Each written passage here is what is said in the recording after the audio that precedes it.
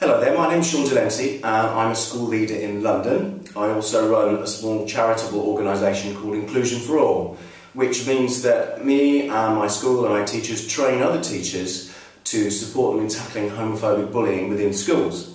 Uh, I'd like to say welcome to Anti-Bullying Week 2012. Um, there's lots of activities going on in schools and nationally this week and the theme this year is We're Better Off Without Bullying. Now, I've got good news and bad news around this because there's lots of publicity and lots of famous people doing some really great work around bullying, and in particular, homophobic bullying over the last few years.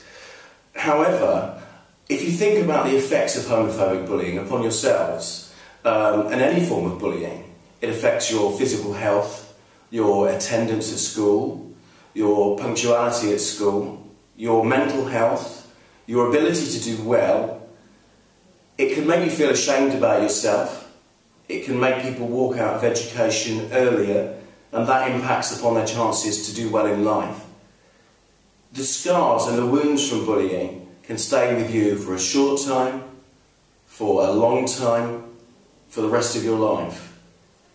It also means that as an adult, you might find it harder to make and keep friends, form relationships, and that you might engage in risk taking behaviours such as alcohol or drug abuse.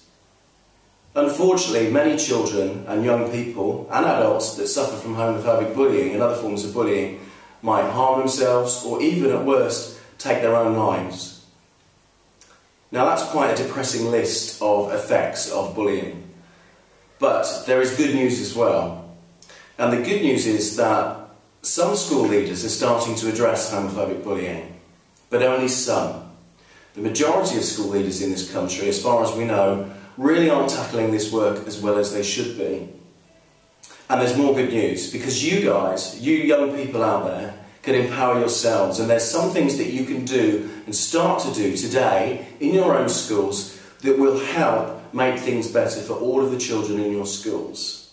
So, for example, ask your school to run a whole school bullying survey and get them to report the findings to you. Always make sure that you know who in the school can help you if you're being bullied, and make sure you tell an adult straight away. Whether it's online bullying, or whether it's bullying in the playground, or on the way to school, or through your mobile phone, report it, save it. If you're hurt in school, make sure you know where to go and where to get help. Ask your school to run a diversity week which celebrates all of the backgrounds of the people in the school anti-bullying week celebrations, and I'm sure there's lots going on in schools this week. In February, there's also LGBT History Month, which the school can celebrate. There's also Idaho, which is the International Day of Homophobia and Transphobia. Find out more about that. Ask your school if they can do an assembly and celebrate that. Why not speak to your teachers about celebrating some influential and famous gay people, such as Alan Turing?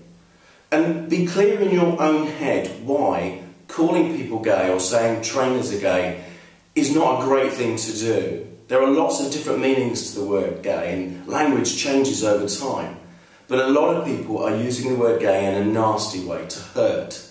And it's important that you and your school and your teachers understand that the misuse of the word gay can really hurt feelings and damage lives of children, young people, adults, teachers, and parents. So once you've done that, don't use those words in an inappropriate way. You know, if you're upset with somebody, express it in a respectful way, talk about it, but don't throw around the words gay, lesbian, bisexual, or transgender to hurt, because there's a wider impact to that. Don't always assume that everybody's family group is the same. If you try brainstorming how many different family groups there are, you will get to well above 20 more. Everybody's family group is different, Talk about it. Get your school to talk about it when people arrive at the school. Celebrate all of the different family groups at school. You could do an anti-homophobic bullying assembly or campaign or poster campaign, public speaking competition, debate. There are loads of things that you can do.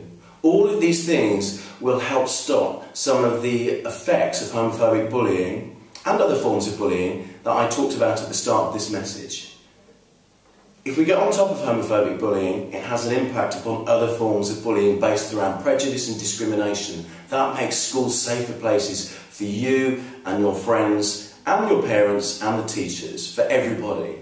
Because the message is clear we're better off without bullying.